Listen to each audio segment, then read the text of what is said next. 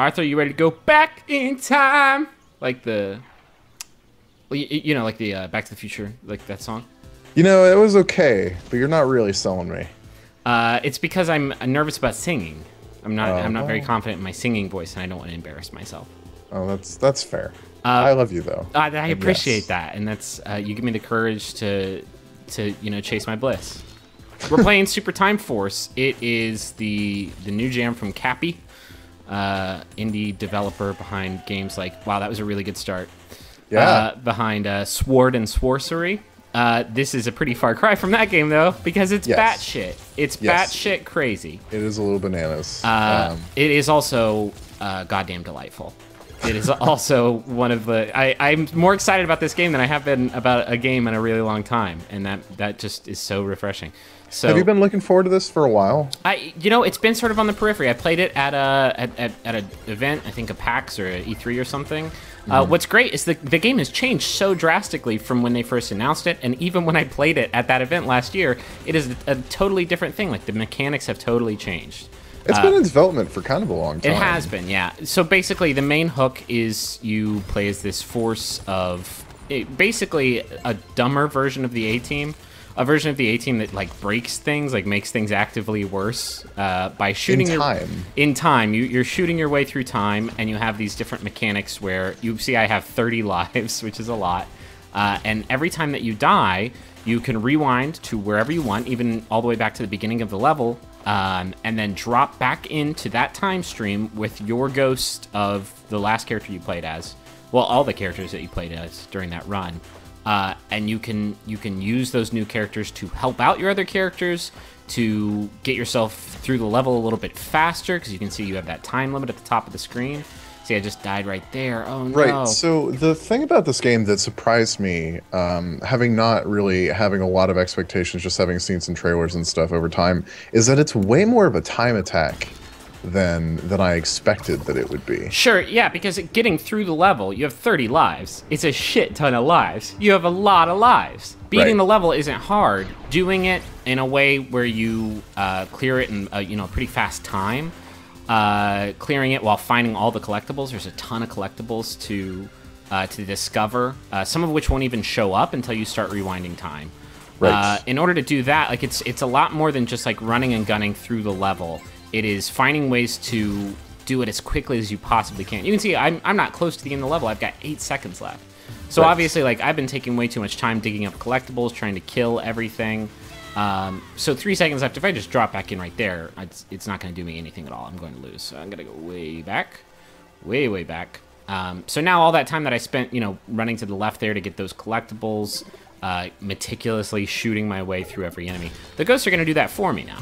So I can spend more time trying to get a little bit ahead in the level, um, without wasting as much time. Right, and this is really like doing what you're doing right now is really the only reasonable way to get secrets in the game because they can take a lot of time off the clock to get. Yeah. And so basically what you do is you like record a version of a hero going through and doing that stuff and then you just rewind it and play next to it. Yeah, uh, some of those collectibles, like these gold things, you can see it shoots out. Sometimes those will go flying, like Yes. way, way, way far away. And the only way that you can get them is rewinding to a point where you can create a character that can then jump into that world and then manage to get to where that thing lands before, because if it touches the ground, it breaks and shatters. Yeah, which is the interesting thing that it basically it contrives a scenario where you have to be able on the spot to catch it. Yeah, because if you if you set yourself up for a situation where uh, you start the level and then you immediately run and shoot one of those things and it sends it flying to a place where you can't get it, you may not be able to rewind far enough to where you can get a character over to where you need that character to be to pick up the thing. It's a really really difficult concept to explain, but basically, you have to be thinking about not only what you're doing on this run, but what you are going to be able to do with other characters in the future. Um, and then, it, it, in a lot of cases, what you are, what you did. Right. Um, what you already did, what you don't have to waste time on with another character. Um, as you can see, other characters have different abilities. There's a new character. Actually, it takes me a while to figure out that I have to run into him. to Yeah, before him. he gets killed. and he just got killed. And then Yeah. um, so you can time out. Eh, You don't have to wait until you die either. You can press the the B button at any time and just drop out and drop back in. Now you can see I've got two characters trying to save this guy before he Right, and bosses are sort of the uh, the places where the time mechanic. Uh, I I think that it finds its best footing or its more most interesting footing. Absolutely, yeah. Because it's a very Um, condensed version of this idea of you can see whenever you do something that prevents the death of a character, uh, you can pick them up almost like a power up, and then whatever character you're playing as uh, currently in that run gets an extra HP, meaning they can take a hit without dying. Uh, and not only that, whenever you use your charge up attack, every character has like a basic shot and a charge up attack. You get to use theirs as well, so you can really, really power up that character by saving the lives of other characters. Right. Yeah. And there's a Um, character also- design. I just did it right there. There's a character who has a big shield who's basically designed to just do that, to block bullets and and save your characters, and then you know racking up a bunch of extra HP and becoming like a total powerhouse. Right, yeah, and I mean uh, the sort the way that bosses work is that there's no way that one character can take them out in the amount of time that you have. Yeah.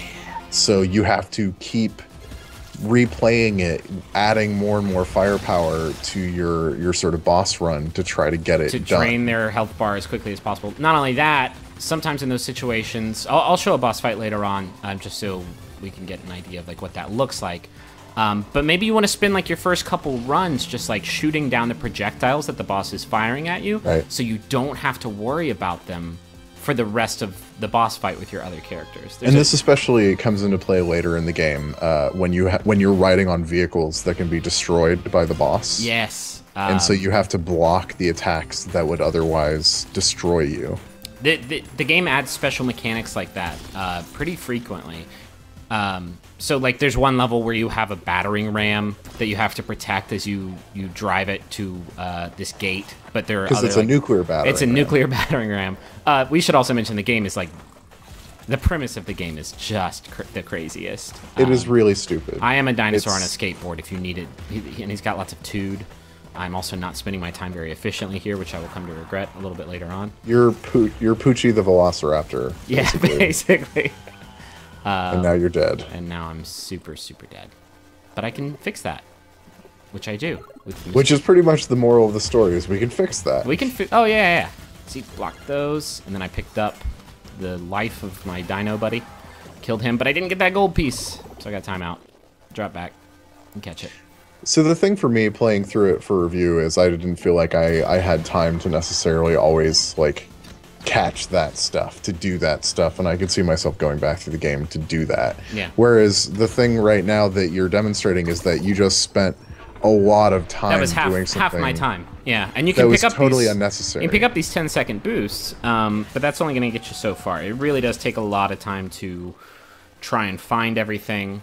Um, are there leaderboards for this game in terms of like getting through the game as fast as you possibly can? I mean, they're leaderboards for different things. I Yeah. think. Um, I I it's very compelling. The loop of I like I I go through each level very slowly, very meticulously. I will like happily restart a level halfway through it if I think that I have like somehow screwed myself out of not being able to get all the gold things. Right. Um, uh, there's there's a lot of hooks, a surprising amount of hooks. So the the interesting thing for me is like when I first started playing the game for review, uh, when I died, I would only rewind just enough to right before that oh, character died, and then play through. And then as as time went on, and this is especially true on the boss levels, I realized that it would almost always benefit me to just rewind all the way. Just start the entire level. Yeah, especially in the boss fights, because in the boss fights, if you think about it like mathematically, you can double your damage output if you just kick it from the beginning and, you know, add an extra assault rifle to to your salvo. and it um, seemed to me over time that like that wasn't just a good idea. It was it's the only way to succeed Mm-hmm. on some of the later bosses in particular. Um, and figuring out like which characters to use at which times is a really interesting thing during those boss fights. Because, for instance, uh, Jean Rambois uh, has this sort of spread fire attack, which is really good if there's like a ton of projectiles just sort of raining down on your team uh, that that you can you know save them all from. Uh, but you have to figure out like, do you want to do that from the beginning or do you want to do that a bit later on? Because if you do it later on, you will prevent the deaths of all of those characters and get like get a ton of extra boosts for Yeah. for whoever you're playing as. Um, it's it's it, there. Each character has like a special thing. The dinosaur has this uh, melee attack and is is pretty fast. Uh, the sniper can shoot through walls, which makes it really easy to save somebody. Uh, also, her her shots bounce, uh, which is occasionally pretty helpful. Yeah. Um, Uh, it's interesting to me. I can see that there's a couple characters that you've passed in the game and haven't saved. Oh, interesting. Uh, well, I, I, I haven't. I've been playing these uh, levels out of order, sort of Mega Man style. You are given the opportunity to play as whoever you want. Um, specifically, though, the the you have the cave girl. Yes. Um, the the road warrior girl, but there's another character in that level that you can save. Oh, really? Yeah. Wow, I had no idea. Yeah, I wouldn't be surprised if there was a lot of that stuff because I'm sure there's a ton of collectibles that I uh, that I also haven't discovered. I think by the end there's eight or nine. Okay. All right. Well, now I know I have to go back. Thank you, Arthur. Man, Yep. I am. It was not a very good run. Well, Sometimes. you've only got 28 lives. well, that's the thing. Like, you can't feel too bad about it because death is like a, a like a mechanic in this game. Like, it is the fastest way to get from point A to point B. Sometimes is to die and set yourself up for a faster run in the future. Um, it still and also to it- give yourself sort of a de facto power up if you decide that yeah, if you can save, wanna like I just saved Dinosaur Boy. Now I have a rocket launcher and a dinosaur bite. That's pretty sweet. Um, it's uh, I don't know. It's interesting. Like it does something that I don't think any game I can think of has ever done before. This idea of, you know, having to think in the fourth dimension of like this this run I know is not going to be the run that gets me to the end of the level. So what can I do to set myself up? What can I do to set future me up to to make a really sick run? Well, it's it's interesting, right? Because it's like there we've played so many games that have that retro aesthetic, and like uh, it's in on a surface level, it's just a shooter like 8-bit and 16-bit shooters, but the sort of power of modern technology lets you do that crazy like time rewinding thing and it's always recording and it can do it up to like 35 times mm-hmm. so it's literally something that like we've never seen in a game before And it's interesting to have watched sort of this game get developed because so the the build I played last time didn't have this idea of when you picked up a character you got HP like that and you also sort of absorbed their special attack. It just didn't have that. If you picked up a character you could get an extra life to like respawn back into the game, but that was it. Um, and th- this idea of being able to rewind time and drop in and drop out at, at will was also a mechanic that that wasn't what they originally showed off. The original mechanic was you died, and I'm pretty sure you just started the level over and then played along your ghost. And like that is Yes. such a huge improvement. Like if that was the way that you had to play the game, it would be infuriating. Um, so like they have been really, really, really clever about taking this idea and refining it, and not just like making it a clever like puzzle mechanic, but actually making it like a super fun action game. Um, I don't know. It's just it's it's really. I, I know that the game has been in development for a while, but it's nice being able to see like how the sausage has gotten made and like where that time went. It went into like making this cool idea into a genuinely great idea. Um, I don't know if I'm gonna have time to beat this. oh my gosh oh my gosh Ooh, that was a close one. Yes Um, and then you get a jetpack and now you get a jetpack. The jetpack levels are great. There's one level, and I, I I'm actually this this is I think 10,000 BC or 1 million BC. Uh, you're 1 million BC. By the way, the thing that I love the most about 1 million BC is that it's 1 million BC so in dinosaurs, which is hilariously inaccurate. But because they, the world's they- only 6,000 years old. yes, uh, they've added feathered velociraptors Yeah. because now that's like the current understanding of dinosaurs is that dinosaurs probably had feathers. yeah.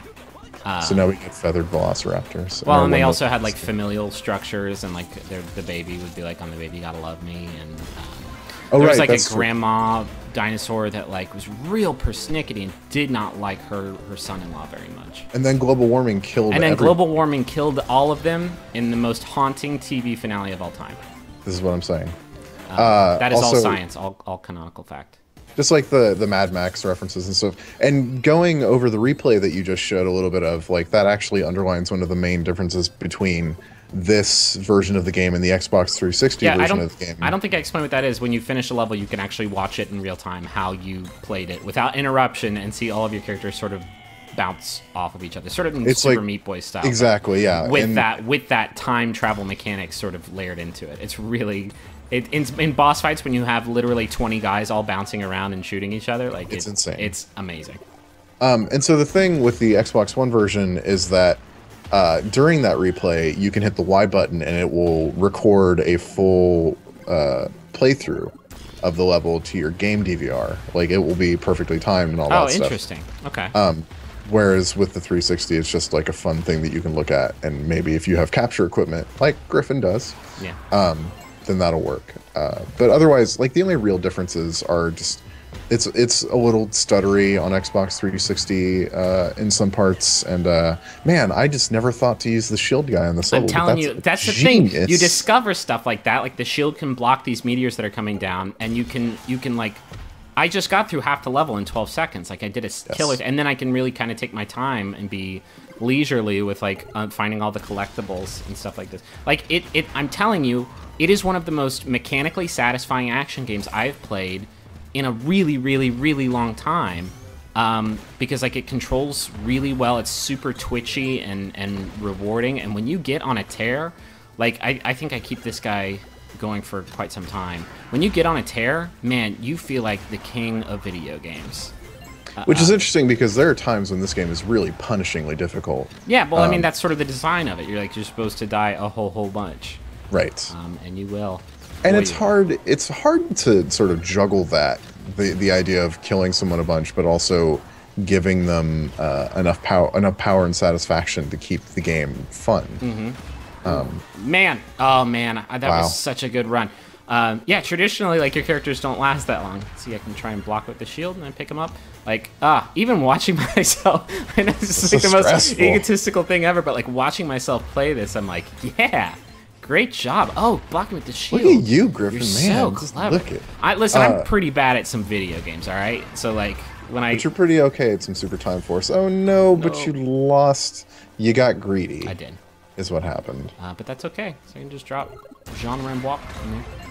um Can I also the- say, like, it's so rare for me to actually. I don't want to sound like a snob or whatever, but um, when a lot of games try to go for the comedy styling that Super Time Force goes for, which is this, uh, y- you know, bizarre, like s- almost super bizarre uh, comedy aesthetic, Hyper-referential. hyper-referential. Like, uh, there's an old man that like occasionally says things in leet speak, like, "Hey, thanks, bye." Um, Yeah. Like that kind of stuff wears so thin for other games for me, and I feel like Super Time Force does all of it really, really well. Like whenever It- you finish a mission, you get a report card, and the report card gets like a "Grape Job" sticker on it, and like a, a gold star, and a picture of you with the president, and then like a cookie for some yes reason. the cookie is my favorite You part get and a cookie because you did such a great job. Like and children scream excitedly yeah it's it's man, it's really really great. Um, let's hop forward a little bit to a boss fight because I really want to show that off. all right So this is one of the boss fights. This is the wow, cool start. Great off to a good start yeah Um, this is the 10 million BC boss fight, and like, what's what's great about the boss fights is you don't get those extra 60 second power ups. You have 60 seconds, and that's it. And you have to figure out how to use it as efficiently as you possibly can.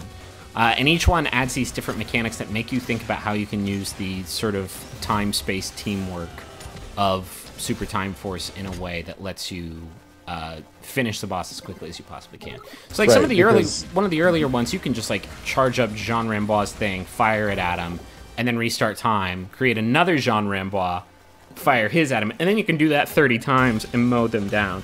Um, but there aren't a lot where you can get away with that. You really have to use all these different mechanics in, in concert. Yeah, it, it does a pretty good job of forcing you to use its mechanics. Um, and this is sort of like a precursor to more difficult boss battles later, which uh, they'll destroy the platform you're on, as Oh. opposed to just attack you. Okay, so you have to defend more than just your own mortality. Um, exactly. Yeah. Um, So like this is an example of that. Like Jean Rambois, as I mentioned before, has this spread fire attack, which is really good for uh, you know steadily depleting something's HP. It's also really good at picking out these uh, pick, taking out these uh, these projectiles that these missiles are firing, which is great by the way. That these missiles are firing missiles at you, fired out of riding a giant missile. shark-shaped missile. Yeah. Um, That's the kind of game that you're playing, That is- folks, in case you weren't absolutely clear. That's- this sort of interesting narrative thing is that it's actually you're kind of not so good. Like No, you're You're terrible. heroes, but you're you're actually totally destroying everything. Right now, we went back to dinosaur times because your captain thinks dinosaurs are awesome and wants dinosaurs and humans to coexist. So you're basically stopping the meteor that took out all dino life.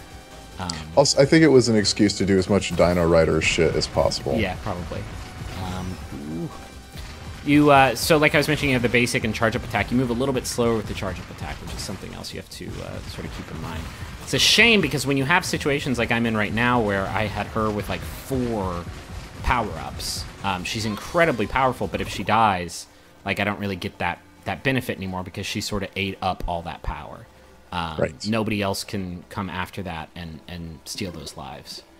See, so what you're doing now, like, is what I used, I did when I started, but eventually I just went all the way back to Yeah. the beginning.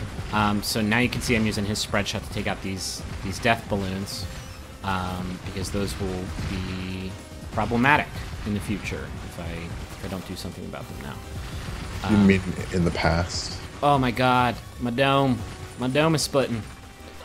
Um, And it's funny watching the boss's health bar every time you play through it go down faster and faster. Mm-hmm. yeah, there's one really great Thunderdome battle where you just have to take down a line of enemies and you don't have nearly enough time to take them all out.